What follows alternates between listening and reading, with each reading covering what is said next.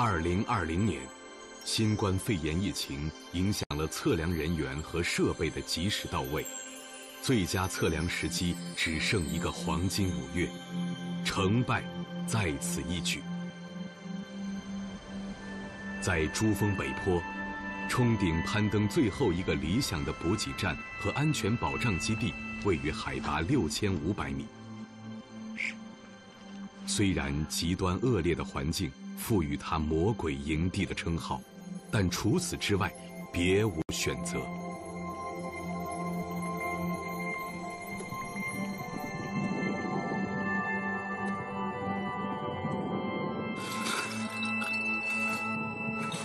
用冰川水煮熟各种半成品食物，为测量队员提供了生命能量。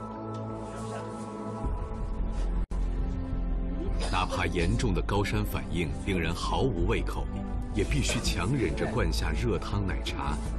吞下说不清味道的饭菜。因为再向高处攀登，就只有冰冷的方便食品了。上三天喝，然后自己喜欢吃什么自己准备。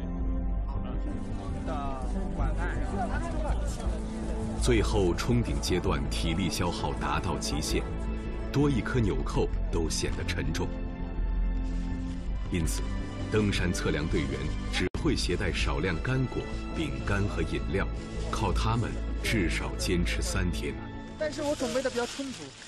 因为我们有可能把检查多待一晚上，这个要准备的。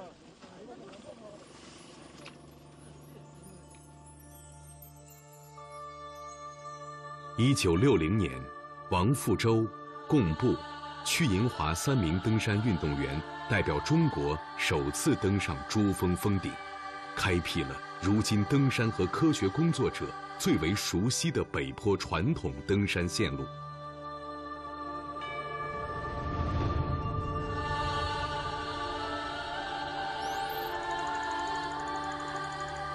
珠峰北坡传统登山线路约二十三点七千米，从五千二百米大本营出发，沿绒布冰川向上攀登，途经五千八百米过渡营地、六千五百米前进营地后，继续向上，就是第一次攀登时拦住测量登山队的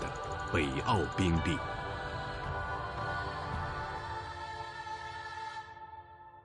珠峰的整个攀登过程中有三大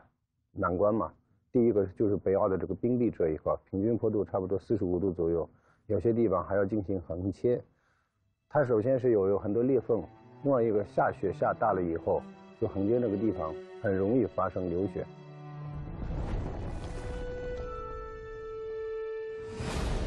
雪崩对登山者杀伤力极大，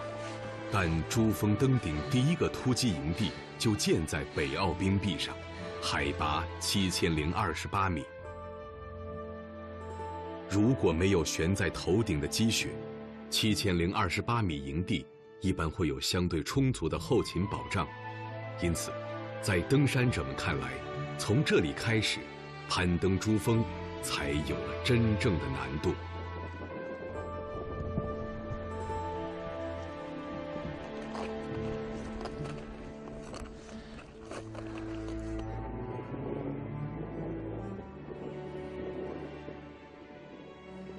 七零二八到七七九零这一块是叫大风口，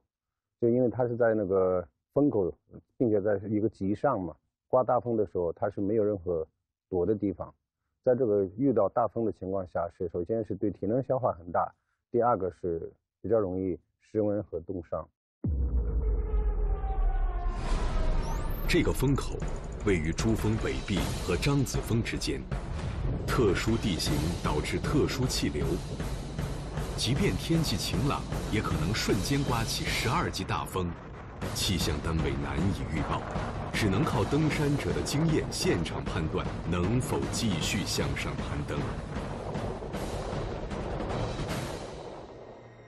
如果能够顺利穿越大风口，登山者会在海拔七千七百九十米左右的地方扎营休息一晚，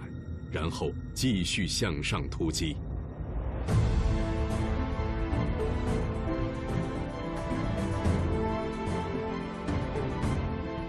海拔八千三百米冲刺营地，是珠峰登顶最后一个营地。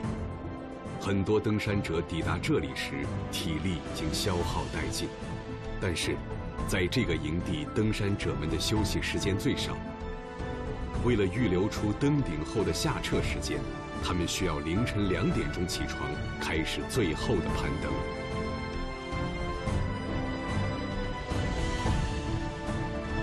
千三百米突击完了，有一个是第二台阶，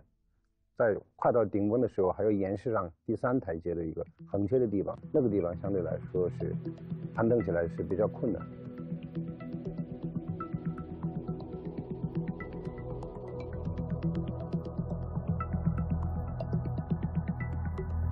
虽然危险重重，但中国登山者们毕竟在北坡传统线路攀登了六十年，经验丰富。测量登山队事先制定了一个职责分工明确的攀登计划。但是我们登山队来讲的话，它是有建营的，然后我们有指挥组、有后勤组、有修路组、有运输组，然后最后在这些所有的队员里面。挑选相对经验比较丰富的、体能比较状态好的、技术相对来说是比较成熟的，最后代表所有的队员、所有的大本营的所有的成员，然后去进行攻顶。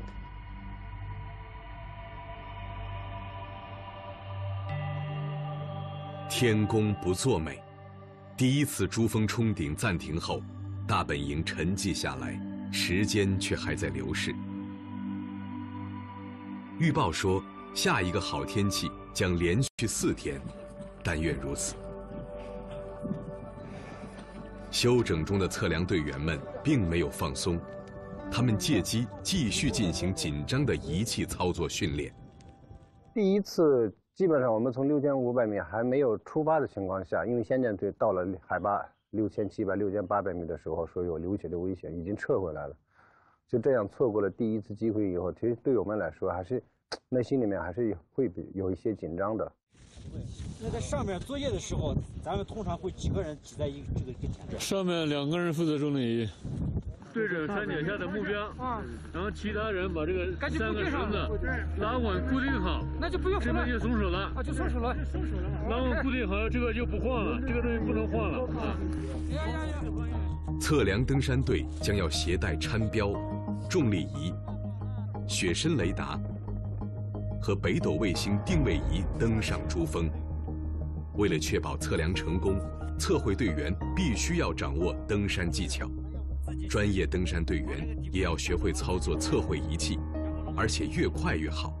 只有这样，才能缩短他们在珠峰峰顶的滞留时间，将登顶测量的危险降到最低。